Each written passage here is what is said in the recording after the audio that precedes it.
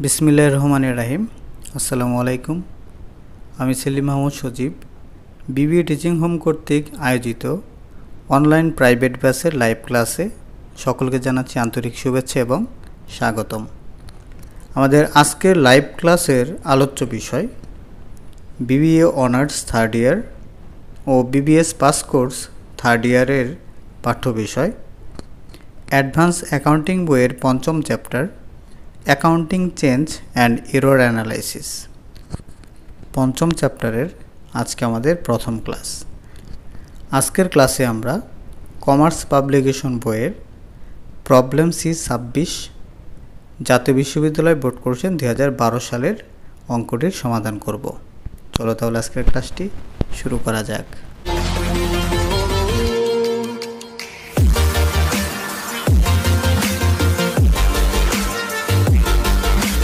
Problem C ছাব্বিশ N U B B honours দুই হাজার বারো সাল। Chandan limited purchase a machine on এক এক দু নয় জানুয়ারি মাস এক তারিখ দু নয় সাল। ফর টাকা চার লক্ষ চল্লিশ হাজার।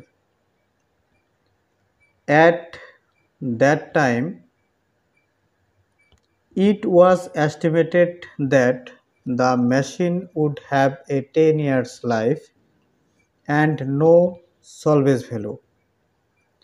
তো বলছে যে দু হাজার নয় সালের জানুয়ারির এক তারিখ একটা মেশিন ক্রয় করে যে মেশিনের ক্রয় মূল্য হচ্ছে চার লক্ষ চল্লিশ হাজার টাকা অ্যাট দ্যাট টাইম ওই সময় ইট ওয়াজ এস্টিমেটেড দ্যাট তখন ধারণা করা হয় যে machine would have a ten years life মেশিনের আয়ুষ্কাল হচ্ছে দশ বছর। অ্যান্ড নো সলভেজ ভ্যালু যেখানে কোনো কি থাকবে না সলভেজ ভ্যালু থাকবে না। অন একত্রিশ বারো দু হাজার বারো।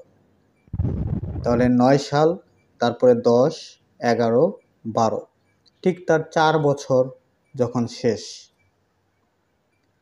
ইট ইজ ফাউন্ড দ্যাট তখন তারা খুঁজে পায় যে the entry for depreciation expense has been omitted in two thousand ten তার দু হাজার বারো সালের একত্রিশ ডিসেম্বর মানে চার বছর অতিবাহিত হওয়ার পর, তারা খুঁজে পায় যে দু হাজার দশ সালের যে অবচয় খরচ রয়েছে হ্যাজ বিন অমিটেড অমিটেড মানে হচ্ছে বাদ পড়া।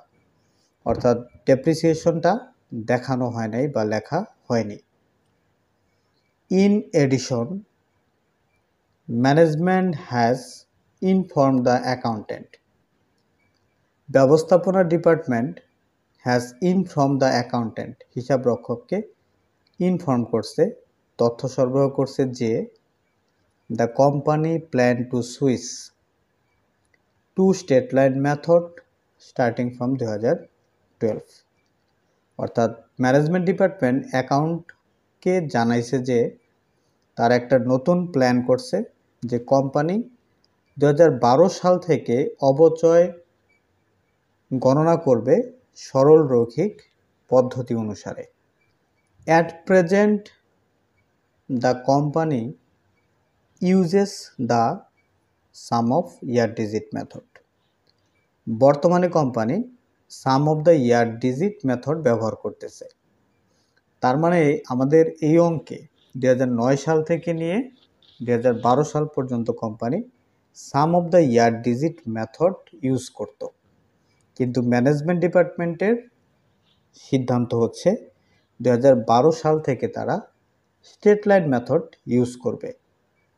এখন বলছে pass entry for omission omission মানে যে বাদ পড়ে গেছে যে ডেপ্রিসিয়েশনের এন্ট্রিটা অ্যান্ড চেঞ্জেস অফ মেথড আমাদের জাবেদা দিতে বলছে দু হাজার দশ সালের যে জাবেদায় বাদ পড়ছে ডেপ্রিসিয়েশন এক্সপেন্সটা সেটা জাবেদা দিতে হবে এবং তাদের মেথড যে চেঞ্জ হচ্ছে, অর্থাৎ sum of the year digit method থেকে যখন ডেপ্রিসিয়েশন চেঞ্জ করে তারা স্টেট লাইন মেথডে চলে আসতেছে। এই পরিবর্তনের জন্য আমাদেরকে জাবেদা দেখাইতে বলছে। আচ্ছা আমি প্রশ্নটা আরেকবার রিপিট করি শুরু থেকে। চন্দন লিমিটেড দু হাজার নয় সালের জানুয়ারিতে একটা মেশিন কিনে চার লক্ষ চল্লিশ হাজার দিয়ে। তখন তারা ধারণা করে যে এই মেশিনটা আয়ুষ্কাল হবে দশ বছর, কোনো সলভেজ ভ্যালু থাকবে না। যখন তারা বারো সালে চলে আসে, অর্থাৎ নয়, দশ, এগারো, বারো বারো সালে আসার পর তারা খুঁজে পায় যে দু হাজার দশ সালের অবচয় খরচ হিসাবভুক্ত হয়নি। তাহলে এটা আমাদেরকে হিসাবভুক্ত করতে হবে, সেটা আমাদের রিকোয়ারমেন্টে বলছে। এছাড়াও তারা একটা নতুন সিদ্ধান্ত নেয়, সেটা হচ্ছে দু হাজার বারো সাল থেকে তারা স্টার্ট করতে চাচ্ছে অবচয় নির্ণয়ের পদ্ধতিটা হবে স্টেট লাইন মেথড তাহলে বারোতে থেকে যদি, বারো সাল থেকে যদি তারা স্টেট লাইনটা শুরু করে, তাহলে বারো সালের আগ পর্যন্ত, নয়, দশ, এগারো সাল পর্যন্ত তারা কোন মেথডে ছিল? এটা প্রশ্নে বলছে যে তারা বর্তমানে sum of the year digit method ব্যবহার করে। তার মানে নয়, দশ, এগারো। এই তিন বছর তারা sum of the year digit method use করছে। এখন বারো সাল থেকে তারা স্টেট লাইন মেথড ইউজ করবে। এখন আমাদেরকে ওই যে দশ সালে যে অবচয়ের খরচটা বাদ পড়ছে, ওইটার জন্য একটা জাবেদা দিতে বলছে। আরেকটা হচ্ছে sum of the year digit থেকে তারা যখন স্টেট লাইন মেথডে চলে আসতেছে, এটার জন্য আরেকটা জাবেদা দিতে বলছে। এটা হচ্ছে আমাদের কোশ্চেন তো আমাদেরকে অঙ্কটা করতে হলে প্রথমে কিছু ওয়ার্কিং করে নিতে হবে। তো ওয়ার্কিংয়ের যে বিষয়টা, সেটি হচ্ছে যে আমরা আগে sum of the year digit method use করতাম। তো প্রথমে আমরা sum of the year digit মেথডে এই তিন বছরের অবচয় নির্ণয় করে দেখব যে এই তিন বছরে কত কত অবচয় হয়েছে, কত সালে। এরপরে আমরা আবার স্টেট লাইন মেথড করব ওই নয়, দশ, এগারো, তিন বছরের। তাতে দেখব যে পার্থক্যটা আসে কত। তো আমরা প্রথমে যেহেতু sum of the year digit method use করে সাম অফ দ্য ইয়ার ডিজিটটাই করে নিই। তাহলে working one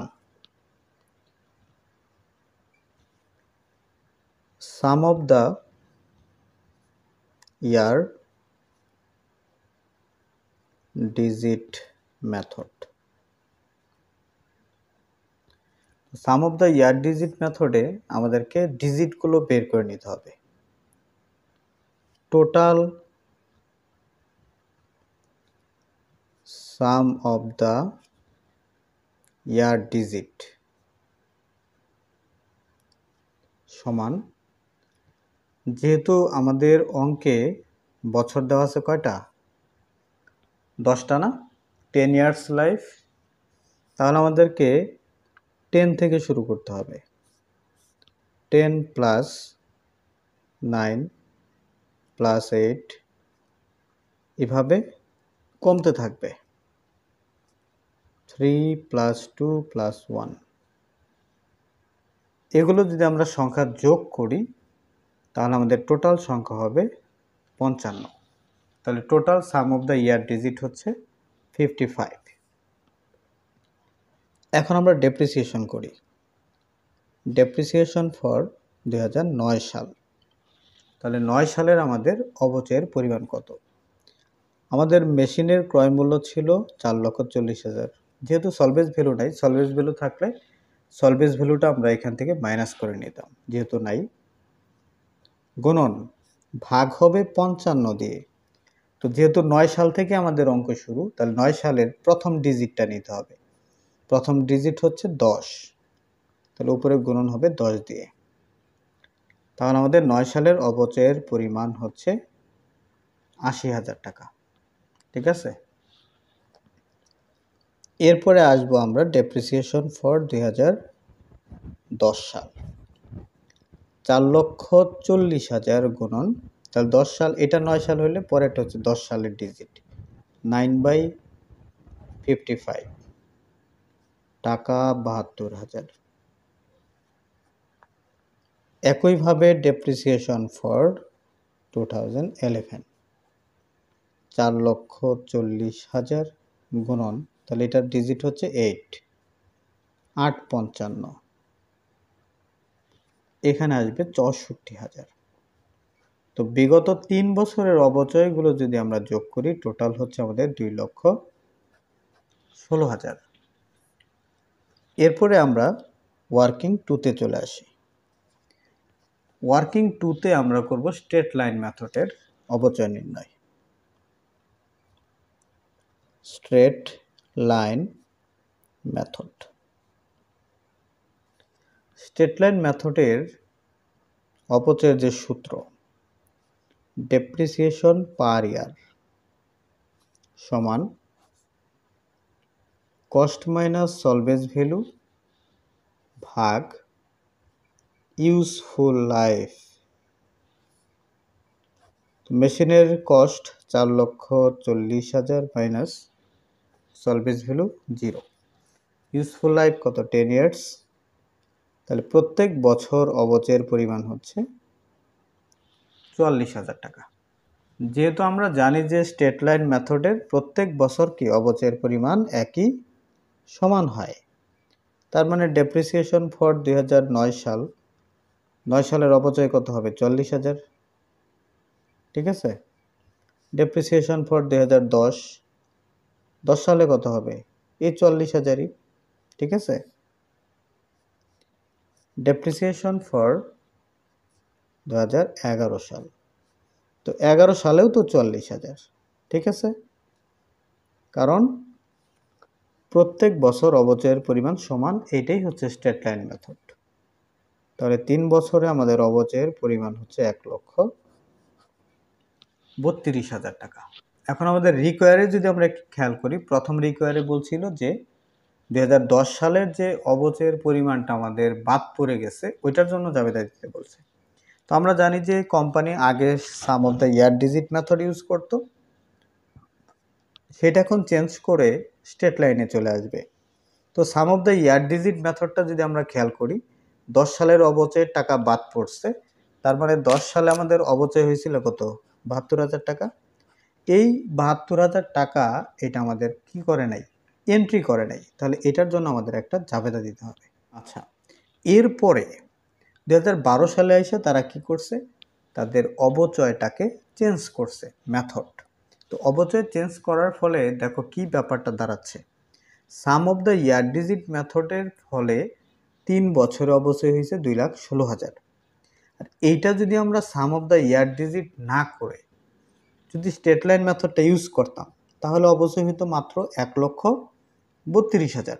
তার মানে দেখা যাচ্ছে যে যদি স্টেট লাইন মেথডটা আমরা ইউজ করতাম, তাহলে অবচয় কিন্তু আমাদের অনেক কম হইতো।